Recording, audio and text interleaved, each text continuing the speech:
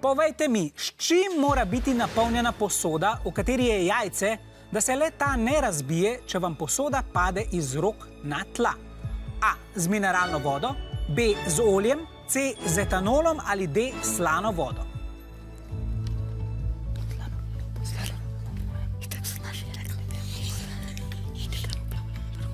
Dobro, premislite.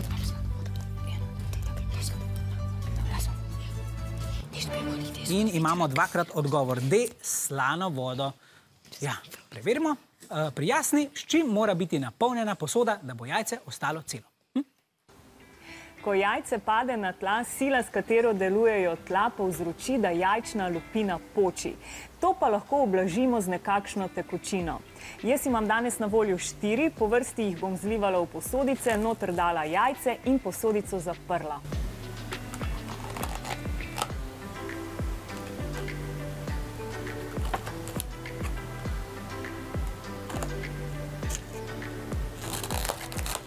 Zdaj pa je čas, da preverimo, katero jajce bo preživelo padec.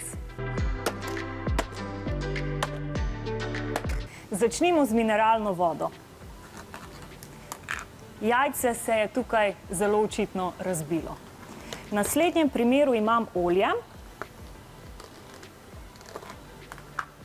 Tudi tukaj je razbito jajce. Glede na gostoto olja bi lahko sklepali, da bo jajce ostalo celo, ampak očitno ni dovolj gosto, da bi preprečilo eh, razbitje jajčne lupine.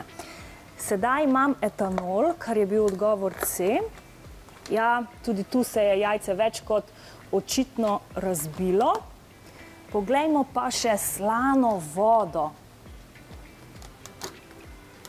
Tukaj je pa jajce ostalo brezhibno oziroma jajčna lupina ni počila.